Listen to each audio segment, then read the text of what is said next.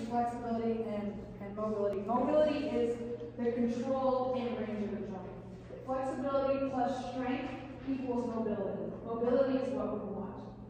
Um, we need our athletes to be able to use that end range of motion effectively, and we need the brain to be convinced that the body can use that end range of motion effectively. Does that make sense?